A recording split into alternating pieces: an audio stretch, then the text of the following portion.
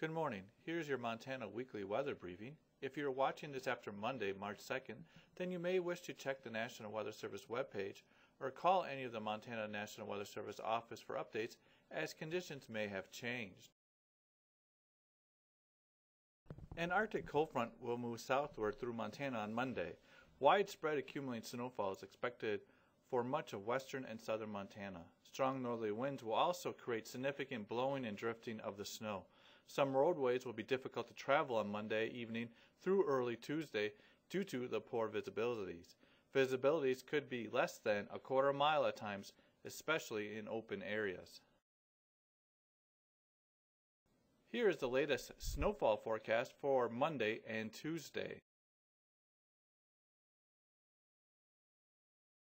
Temperatures are expected to fall well below zero across much of the state Tuesday and Wednesday. Wind chill values will make it feel even colder. Warmer air slowly moves back into the region starting on Thursday. There is a small chance for a passing shower, mainly on Friday.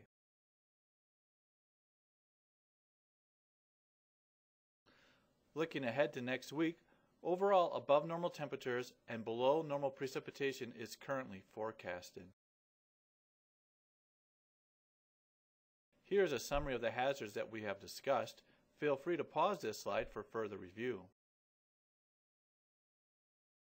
Thank you for watching. If you have any questions or concerns, please feel free to contact any of the four Montana National Weather Service offices at any time.